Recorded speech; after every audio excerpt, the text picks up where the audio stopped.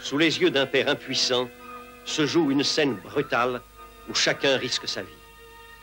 Je vais les tuer? Vous pensez à Suzanne? Oh mon Dieu Deux hommes se pourchassent.